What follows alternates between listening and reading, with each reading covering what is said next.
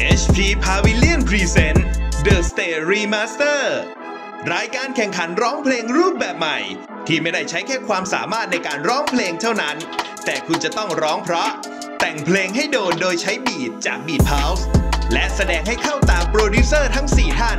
ณ GG Arena แห่งนี้ เพื่อชิงเงินรางวัลทั้งหมด 50,000 บาท และตำแหน่ง The Remastered ที่จะได้ร่วมงานกับโปรดิวเซอร์ชื่อดังของเมืองไทย อย่าง นายซิกติโซแอนซิกกี้ดีเจบีฟลุกกี้และพี่นายดี ใครจะกลายเป็นที่หนึ่งในเวทีแห่งใหม่ ที่กำลังจะลุกเป็นไฟแห่งนี้